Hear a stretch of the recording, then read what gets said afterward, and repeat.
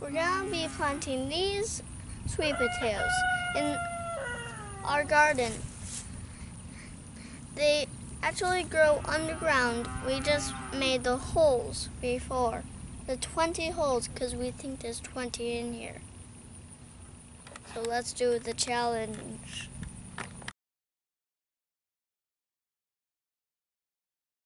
All right, so we're gonna be talking today about planting sweet potatoes.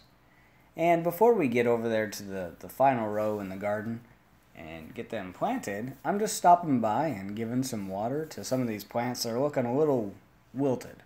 This was a very hot day. I was uh, filming this video on my lunch break, and so like some of these plants that had just been transplanted, we're having a little bit of a hard time, even though the soil was pretty damp.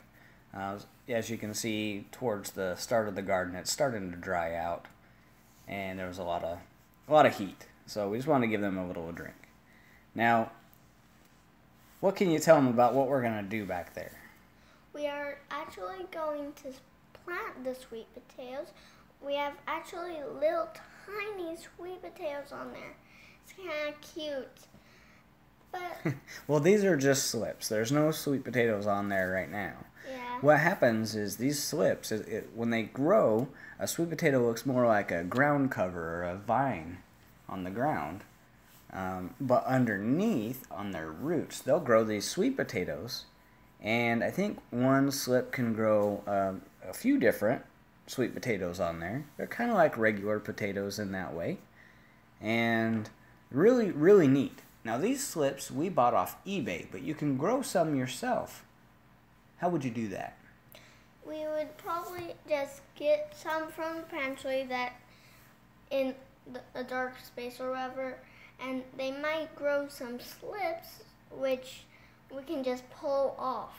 Yeah. So sweet potatoes grow these, and like I said, we bought these off eBay.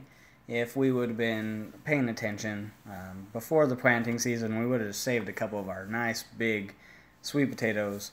Tried to get some slips to grow off of there. You pull them off, and you put them in a cup of water and let them start growing some roots on there. And then when they, they get nice and strong, then you can take them outside and you plant them. Now, it probably would have been a little better to plant these in the morning or in the evening, um, but they've done really well since we did it. Uh, I just made sure that we we kept them covered, and we didn't try to plant too many at a time before we covered them up with the soil and gave them a little drink of water. Right? Right.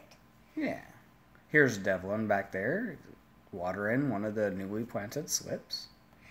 And one of them that we planted before are trying to like escape the actual lump of dirt.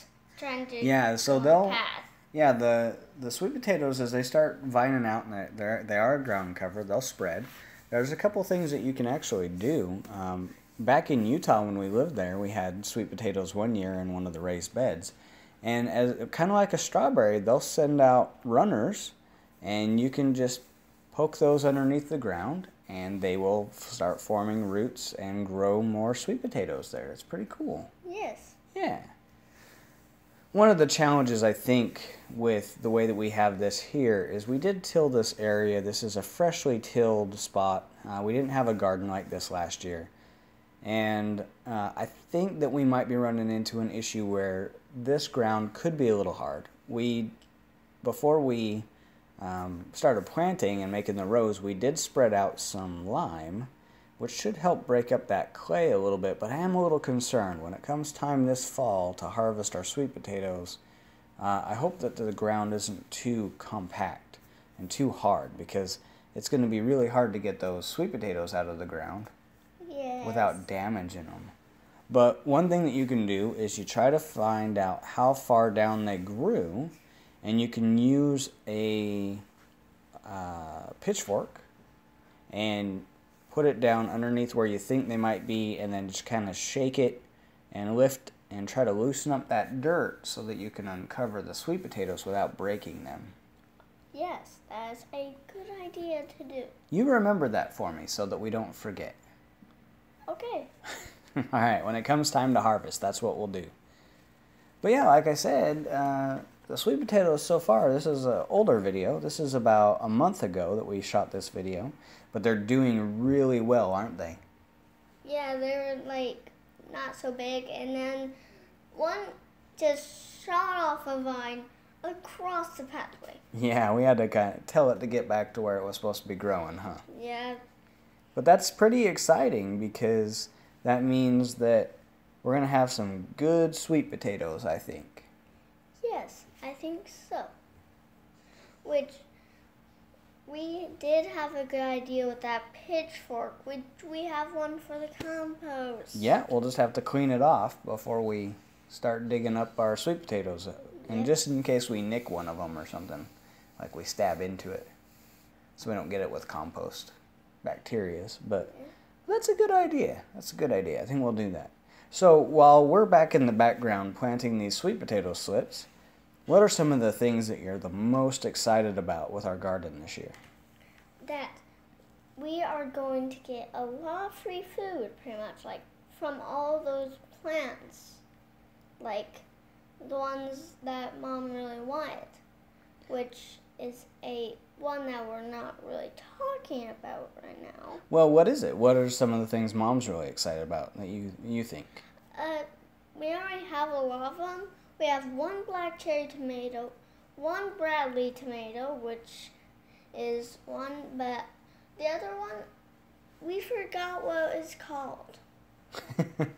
what about the zucchinis and the yellow squash?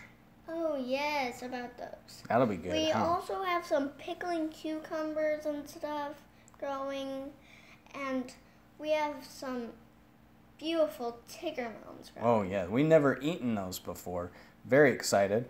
You can see behind or in front of us, we're standing behind a trellis fence made out of two inch chicken wire there. And we already have our tigger melons growing up there. They're about halfway up the wire so far, aren't they? Yes. So already in just a, a few short weeks, the garden is starting to transform and look a lot more luscious. Yes, and one of the sides, one of the tigger melons actually have a whole bunch of flowers. Yep. Well, our video is almost over. Is there any last thing that you'd like to mention? Oh yes, my pepper. Yeah. It's a sweet pepper, like a gypsy sweet pepper. Oh, that'll be good. One sad thing was we did get a horned tomato worm on it and it ate most of the leaves off of it, but we were able to get two of the peppers So far. so far and it's starting to regrow leaves. We'll have to do another video about that, won't we? Yes. Hello there. I'm glad you're still here. I'm Marshmallow from Haphazard Farm. Please like, comment, and subscribe to stay up to date with the latest of our videos.